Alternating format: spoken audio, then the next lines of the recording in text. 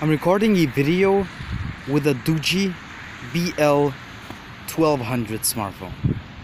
And today is a cloudy day because it's winter, meaning that the lighting conditions are not that great, but I can't really do anything because every day is just the same.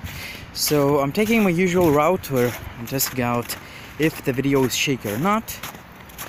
I'm holding the phone in two hands and I'm not using any stabilization tools.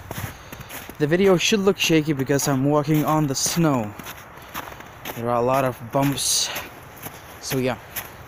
Let me go to the tree where I'll be checking out the continuous autofocus feature. Oh, sorry. I'm not touching the display. Let me touch the display. Okay. There is no continuous autofocus feature. Every time you need to you want to refocus, you need to tap on the display. Let me check the auto exposure.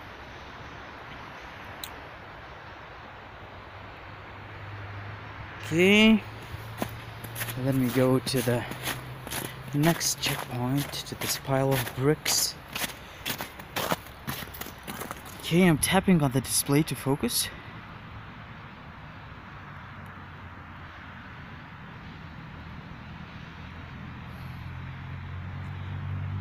So this is the close-up video.